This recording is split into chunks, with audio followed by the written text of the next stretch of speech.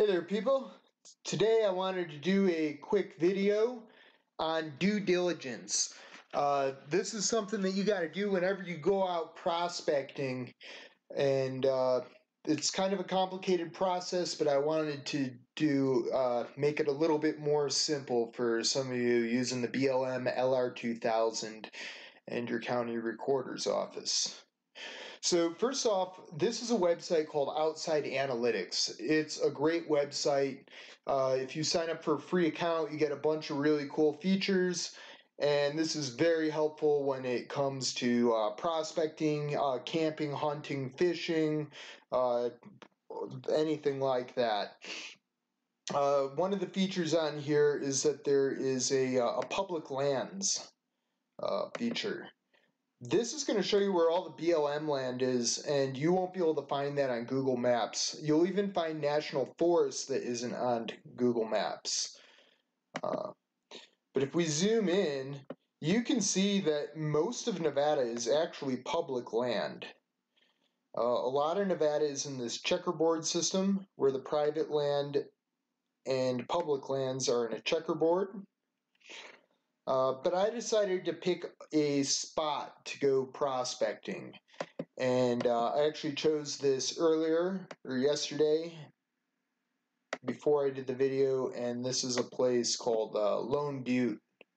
So I set this point on the map. Um, if you want to set a point, you just go to the plus, and then you're going to go ahead and click Create a Point and then anywhere you click, it's going to give you your longitude and your latitude, your elevation. You can save it for later, uh, whatever. Um, but we're not going to need to do that because we already have a point saved. Uh, some of the cool features of this outside analytics is that we can find out if we're going to have cell coverage. Um, let's say we have T-Mobile. We want to see if there's coverage. Well, there you go. Looks like there's uh, T-Mobile coverage. Alright. So we'll go ahead and turn off the cell coverage map. Uh, you can also use these features to find swimming holes, waterfalls, springs, uh, stream flows. Uh, you can find haunting information, wildlife information, uh, a lot of really cool stuff. For the most part, anywhere that's a public land, anywhere that's BLM, you can camp for up to 14 days. So if you're into boondocking and doing free camping, uh, this is a really good tool for you to use as well. Okay, so this is the point that I found yesterday. Um, and if you click on it, you see we got a longitude and latitude. And we can go ahead and take this longitude and latitude and copy it. I'm going to go ahead and plug this into Google Earth Pro, which is a free download. You'll need this as well. And we're going to enter the GPS coordinates.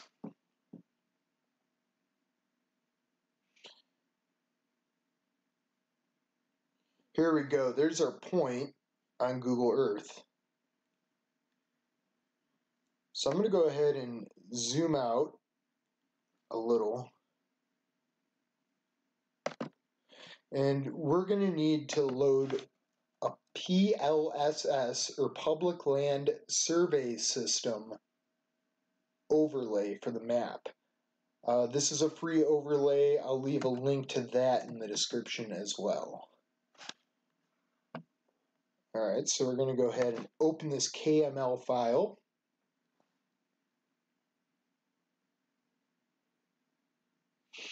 And once it's loaded, you're going to go into your places and you're going to select special surveys. Alright, so now that we've got that loaded, we can find the information that we need in order to plug this into the BLM LR2000. As you can see, we are in we are in 37 North, Township 37 North, Range 41 East, section 34, and we are looking in the southwest quarter. Okay, so now that we have that information, we're going to go ahead and go to the BLM LR 2000 website.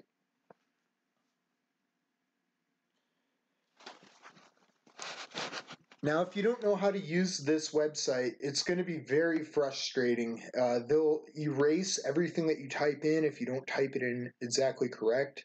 As you can see, there's all kinds of reports available for oil and gas, uh, solar, wind, um, uh, things that we don't really need to know about. What we're looking at is the public mining claim reports. And we're going to run a GeoIndex report.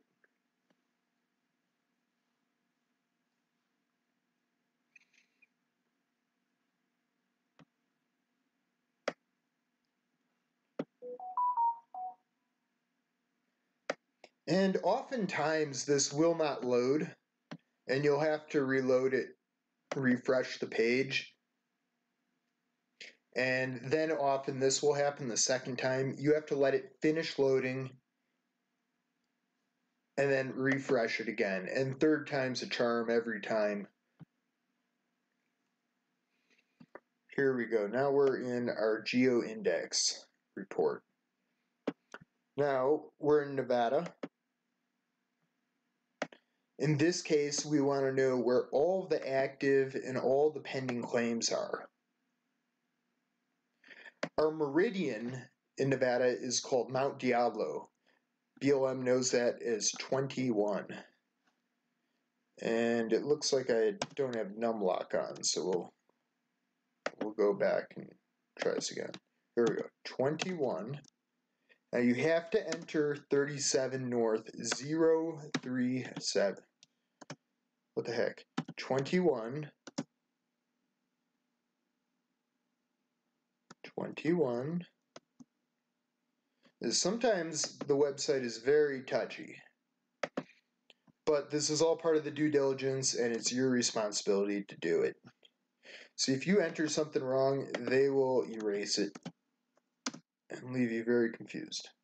So 0, 3, 7, 0, north, zero, four, one, zero, east, and this is in section 34, 034. We're going to go ahead and press OK.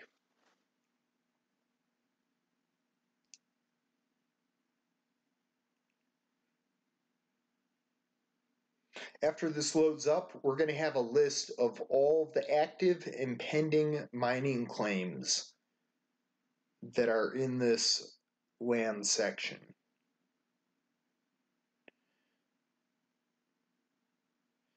Uh, you're supposed to be able to enter a subdivision here. Ours would be the southwest, and for whatever reason, uh, I always have trouble when I do that.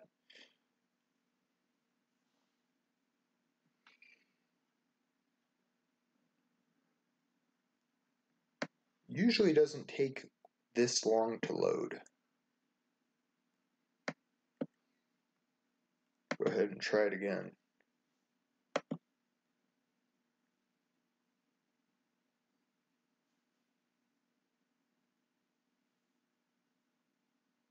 Here we go.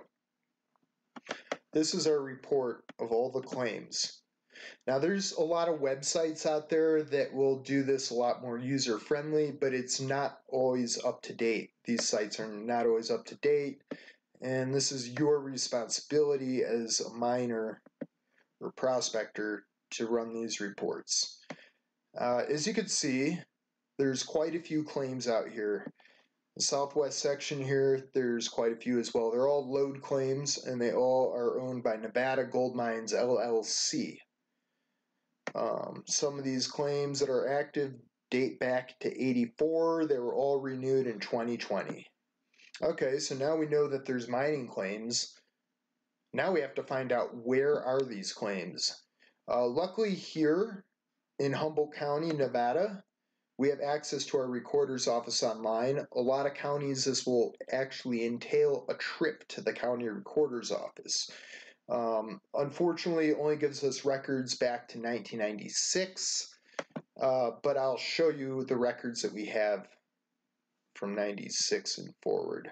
Uh, we got to agree to their disclaimer.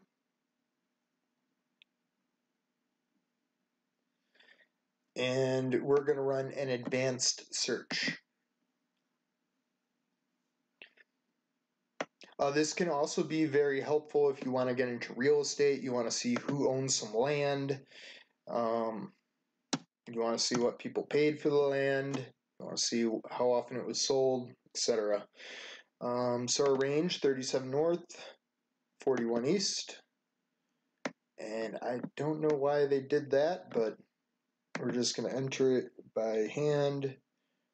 41 east and the section is section 34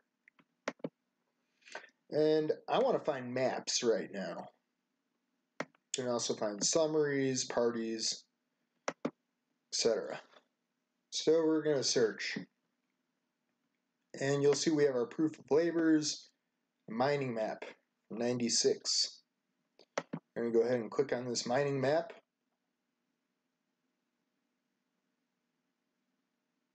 and you can see that it was uh, submitted by Echo Bay Exploration out of Denver, Colorado. I'm going to open up this PDF.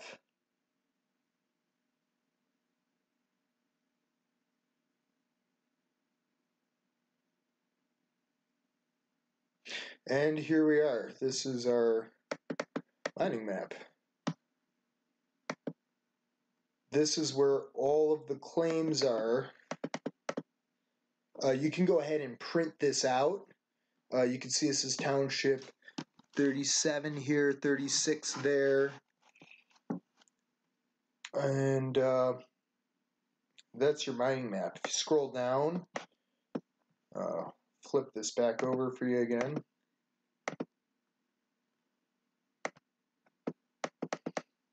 And you can see these are all lode claims and it lists all the information it says where all of their markings are and which which subdivisions of which sections and ranges the claims are at. This goes on and on. Um, it is a little bit of a, a pain to, to do all this. And if you just want to do some recreational prospecting and you don't want to go through all this red tape, a really good option is claims clubs. There's national claims clubs. There's local claims clubs. Uh, a really good good one that gives you access to a lot of claims for a fairly cheap amount of money is the GPAA. I'll leave a link to that in the description as well. I'll leave links to all the websites. I appreciate you guys uh, watching. If you have any questions, feel free to ask. I can't guarantee you that I'll know the answer. Uh, but I know that this BLM LR2000 was a bit of a learning curve for myself, so I wanted to try and uh, simplify it. Uh, and I hope this helped you out. All right, thanks for watching.